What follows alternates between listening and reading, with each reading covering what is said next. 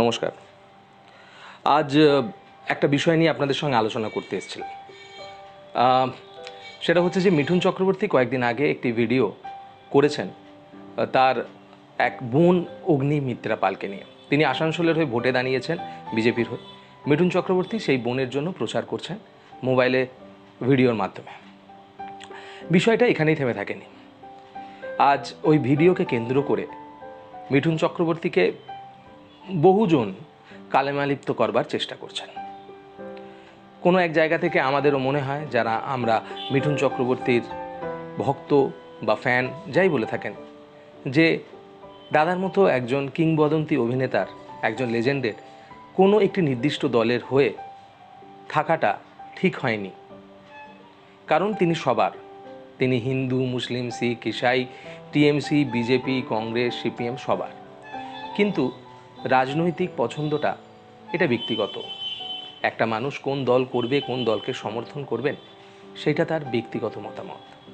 তার জন্য নিজেদের মধ্যে বিভেদ সৃষ্টি করার কোনো কারণ নেই। আজ উনি কোনো দলের হয়ে ভোটে দাঁড়াননি। আজ উনি কোনো কেন্দ্র থেকে নিজে প্রার্থী হয়ে ভোট চাইছেন না। তিনি কোনো দলের হয়ে, সেলিব্রিটি মুখ হয়ে হয়তো নিজের জায়গা থেকে প্রচার করছেন। এবং তার একটা ব্যক্তিগত কারণও রয়েছে। যেহেতু অগ্নিমিত্রা পাল বেশ কিছু বছর ধরে মিঠুন চক্রবর্তীর ফ্যাশন ডিজাইনার হিসেবে কাজ করছেন, তাদের একটা ব্যক্তিগত সম্পর্ক রয়েছে, একটা ভাই বোনের সম্পর্ক রয়েছে এবং সেই সম্পর্ককে সম্মান দেবার জন্য উনি জনগণকে অনুরোধ করছেন যে যাতে তারাও অগ্নিমিত্রা পালকে সাপোর্ট করে। বিষয়টা এখানে শুরু, এখানে শেষ হয়ে গেলে ভালো হতো। কিন্তু তা হয়নি। সমস্যা হচ্ছে যে মিঠুন চক্রবর্তী হয়তো লাস্ট কয়েক বছরের মধ্যে কোনো না কোনো দলের সঙ্গে অ্যাক্টিভলি জড়িত হয়েছেন এবং সেই দলের হয়ে প্রচারের মুখ হয়েছেন। কিন্তু মিঠুন চক্রবর্তীর ইতিহাস এখান থেকে শুরু নয়। তিনি এমন একজন অভিনেতা যার কোনো বর্ডার নেই, কোনো গণ্ডি তাকে ধরে রাখতে পারেনি তিনি বাঙালি, তিনি বাংলায় জন্মেও তিনি পুরো ভারতের এবং তিনি ভারতবর্ষের ছেলে হয়েও তিনি পুরো পৃথিবীর। তার নাম শুধুমাত্র পশ্চিমবঙ্গ বা ভারতে সীমাবদ্ধ হয়ে থাকেনি। তার পরিচিতি শুধুমাত্র ভারতের গণ্ডির মধ্যে বিচরণ করেনি। তিনি আরব, রাশিয়া, সোভিয়েত ইউনিয়ন, বিভিন্ন দেশ, মহাদেশে প্রচুর ভালোবাসা পেয়েছেন। এবং আজও পাচ্ছেন আমার এই ভিডিওটা করার উদ্দেশ্য শুধুমাত্র একটাই। যে আপনি যে কোনো দলের হয়ে কথা বলতে পারেন, আপনি যে কোনো দলকে সমর্থন করতে পারেন। মিঠুন চক্রবর্তী যদি বিজেপির হয়ে প্রচার করে অথবা অন্য কোনো পার্টির হয়ে প্রচার করেন, আপনি সেই পার্টিকে তার এগেনস্টে কথা বলতে পারেন। মিঠুন চক্রবর্তী প্রচারটা করছে, আপনাদের ভালো লাগছে না, সেইটা আপনারা বলতে পারেন। কিন্তু ওই ব্যক্তিকে ব্যক্তিগতভাবে কালিমালিপ্ত করবার অধিকার কিন্তু আপনারও নেই। আজকে অনেকেই বলছে যে, মিঠুন চক্রবর্তী কি করেছে বাংলার জন্যে? মিঠুন চক্রবর্তী মিঠুন চক্রবর্তী একজন সুবিধাবাদী লোক।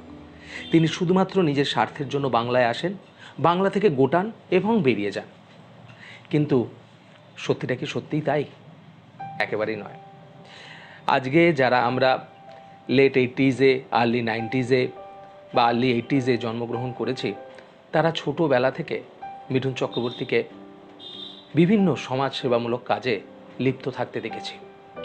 বিশ্বাস করবেন না, মিঠুন চক্রবর্তী এমন একজন মানুষ যিনি প্রচারের আলোর জন্য কিছু করেন না।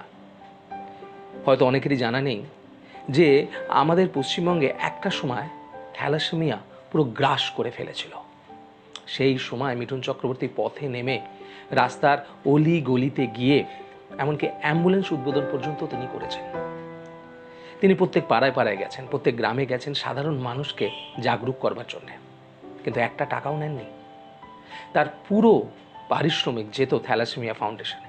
শুধু তাই নয়, কয়েক বছর আগেও আমরা দেখেছি যে অঙ্কিত রড, যার ব্র্যান্ড অ্যাম্বাসেডর মিঠুন চক্রবর্তী ছিলেন, আপনারা জেন, জানলে অবাক হবেন যে তার থেকেও তিনি এক টাকা পর্যন্ত নিজের পার্সোনাল অ্যাকাউন্টে নেননি। পুরোটাই গেছে থ্যালাসেমিয়া ফাউন্ডেশনে।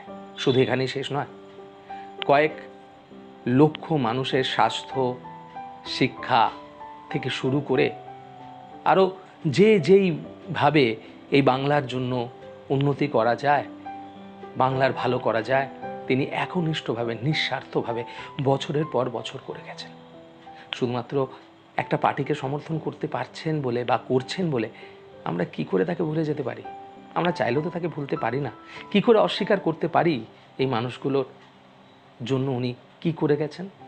যে সময় আমেরিকা, লন্ডনে গিয়ে বড় বড় স্টারেরা লক্ষ লক্ষ কোটি কোটি টাকা উপায় করতেন লাইভ শো করে, সেই সময় মিঠুন চক্রবর্তী কিন্তু এই কলকাতার বুকে ঘুরে ঘুরে বিভিন্ন মানুষের পাশে দাঁড়িয়েছেন প্রচারের আলো ছাড়াই। আজকে সেই মানুষটা বুড়ো হয়ে গেছেন। আজকে হয়তো তার সেই ক্রেজ নেই। বাংলার নতুন জেনারেশন হয়তো জানে না তার সম্বন্ধে যে তিনি কি করেছিলেন বা কী করতেন। তাই হয়তো তাদেরকে ভুল বোঝানো হলে তারা বুঝেও যাবে। কিন্তু যারা আর্লি এইটিজে লেট এইটিজে বা আর্লি নাইনটিজে জন্মগ্রহণ করেছেন, যাদের সেই সময় জ্ঞান হয়ে গিয়েছিল মিঠুন চক্রবর্তী একজন সুপারস্টার বাঙালির গৌরব, বাঙালির গর্ব। আপনি বলতে পারেন, বাংলার বুক থেকে এমন একজন অভিনেতার কথা, যিনি পুরো ইন্ডিয়াতে রাজত্ব করেছিলেন as an star as an hero as an actor একটা স্টারের নাম বলতে পারবেন? অমিতাভ বচ্চনের মতো অত বড় সুপারস্টারের সময় উনি যদি চ্যাম্পিয়ন হয়ে থাকেন, তাহলে একমাত্র এই চার দশক, পাঁচ দশকের মধ্যে মিঠুন চক্রবর্তী ছিলেন, যিনি ছিলেন চ্যালেঞ্জার। তার ওই সিংহাসনটাকে নাড়িয়ে দিয়েছিলেন। সেটা আমাদের বাংলার গর্ব, আমাদের বাংলার গৌরব। হতে পারে সেটা পুরনো কথা, কিন্তু কি করে ভুলে যাব বলুন তো? আজকে যেই মানুষটা নিঃস্বার্থভাবে এত বছর ধরেই বাংলার জন্য করে গেছে আজকে খুব সহজভাবে লিখতে পারা যায়। কি করেছেন উনি আমাদের জন্য? উনি তো স্বার্থপর, উনি তো স্বার্থবাদী। আমি কোনো পার্টির হয়ে, কোনো দলের হয়ে প্রচার করতে এখানে আসেনি। আপনারা যে দল করেন, সেই দলকে সমর্থন করুন। অবশ্যই সেটা আপনার অধিকার। উনি যেই দল করেন, সেই দলকে সমর্থন করতে দিন। কিন্তু ব্যক্তিগতভাবে তাকে কালিমা লিপ্ত করার অধিকার কি আমাদের রয়েছে? সত্যি কথা বলুন তো। আজ আমাদের মনে আছে যে যখন আমরা ছোট ছিলাম আমরা যে কোনো দোকানে, বাজারে গেলেই মিঠুন চক্রবর্তীর একটা বড় ছবি মারা থাকতো বাঙালিদের দোকানে। এবং সেখানে ছোট্ট করে লেখা থাকতো, বাঙালির গৌরব, বাঙালির গর্ব, বাংলার গর্ব। আজ আমি বলছি না যে সেই জিনিসটা সেই দিনটাকে ফিরিয়ে আনুন, আনার দরকারও নেই। কিন্তু ভুলে যাই কি করে? ইতিহাস কি ভুলে যাওয়া যায়? খারাপ লাগছে। আমি ব্যক্তিগতভাবে মিঠুন চক্রবর্তী কোনো একটি দল করেন সেটাকে সমর্থন নাই করতে পারি। কিন্তু তাই বলে ওনাকে ব্যক্তিগতভাবে নোংরা বলা, ওনাকে নিয়ে বাজে সমালোচনা করা কি আমাদের বাঙালিদের শোভা পায়? একটু বলুন তো। আপনারা জানেন না হয়তো উনি পশ্চিমবঙ্গের ফুটবলের জন্য কি করেছিলেন? গরিব প্লেয়ারদের জন্য, তাদের জায়গা করে দেওয়ার জন্য, তাদের প্রশিক্ষণের জন্য তিনি ব্যাকফুট থেকে, পেছন থেকে কতটা করে গেছেন বছরের পর বছর? শুধু তাই নয়, ক্যান্সার, যেসব মানুষের ক্যান্সার হয়েছে, যেসব মানুষের অপারেশনের প্রয়োজন রয়েছে, লক্ষ লক্ষ টাকা বছরের পর বছর চুপচাপ তিনি ইনভেস্ট করে গেছেন, নাম পাওয়ার জন্য নয়, বাংলার ভালোবাসার জন্য। আমি বলছি না তার কথা শুনে আপনি কাউকে ভোট দিন, একেবারে বলছি না। কেন বলব আমি? বা আমি বললেই বা আপনি শুনবেন কেন? কিন্তু আমি জাস্ট এইটুকুন বলতে চাইছি যে লোকটার সম্বন্ধে কুৎসা রটানোর আগে, লোকটার সম্বন্ধে চারটে খারাপ কথা বলবার আগে একটু লোকটার সম্বন্ধে জানুন। আরে সত্যি উনি বাঙালির গর্ব, বাংলার গর্ব।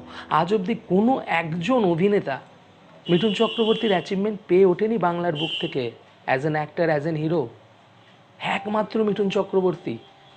সেটা বাঙালির গৌরব যদি বাংলা ভুলে যায়, তাহলে অন্যরা কেন মনে রাখবে বলুন তো? আজকে রজনীকান্ত, কামাল হাসান এদের মন্দির তৈরি করা হয়। সাউথে এদেরকে পুজো করা হয়। ওদের ছবি আসা মানে ফেস্টিভ্যাল মানা হয় সেখানে। কিন্তু যখন ওনারা পিক টাইমে ছিলেন, ওনাদের ইয়াং এজ ছিল, সেই সময় ওনারাও চেষ্টা করেছিলেন মুম্বাইতে গিয়ে নিজেদের স্টার তকমার প্রতিপালন করার। কিন্তু এই একটা বাঙালির ছেলে যেখানে পুরোটা দখল করেছিলেন, সেই লোকটাকে কম ভাববেন না। আজকে আমরা হয়তো তাদের মতো তাকে সম্মান দিতে পারছি না। কিন্তু এতটা তো অসম্মান করার অধিকার নেই বলুন। আমার জায়গা থেকে আমার মনে হলো যে ওনার প্রাপ্য সম্মানটুকুন যদি ওনাকে না দেওয়া হয়, তাহলেও চলে যায়। কিন্তু এইভাবে অপমান করাটা পারছি না নিতে। তাই বললাম, সবাই ভালো থাকবেন। যদি কিছু ভুল বলে থাকি, যদি কাউকে বা কারোর মনে কষ্ট দিয়ে থাকি, তার জন্য আমি ক্ষমা প্রার্থী। তবে একটা কথা মনে রাখবেন যদি ঘরের ছেলেকে ঘরের লোকেরাই সম্মান না দেয়, তাহলে কি করে এক্সপেক্ট করব যে কালকে বাইরের লোকেরা ঘরের ছেলেদের সম্মান দেবে? নমস্কার।